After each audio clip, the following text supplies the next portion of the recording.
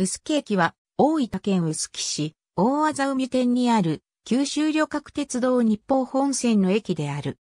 事務官コードは92万538。臼木市の代表駅で全列車が停車し、普通列車の半数弱が当駅で大分方面へ折り返す。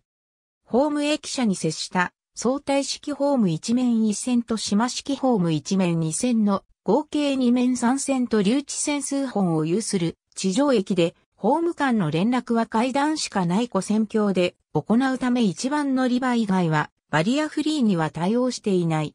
JR 九州鉄道営業が駅業務を行う業務委託駅で緑の窓口が設置されている。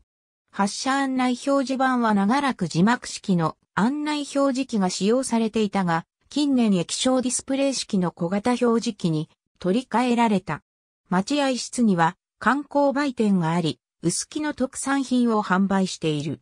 駅前にある石仏の複製駅は市街地の端にあり、駅周辺にはホテルや飲食店などがある。商業地区の中心は駅から800メートルほど北西にある辻バス停の先、旧城下町地域の中央通り商店街一帯になる。小規模な店舗が多数あり、大型店はほとんど見られない。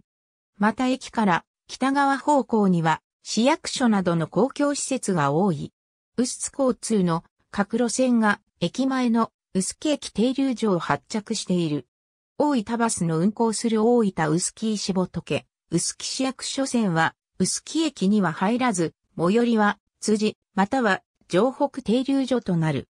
かつては JR 九州バスース参戦の起点でもあったが、2007年3月31日の運行をもって廃止され、駅に隣接していた JR 九州バス、大分支店も閉鎖された。ありがとうございます。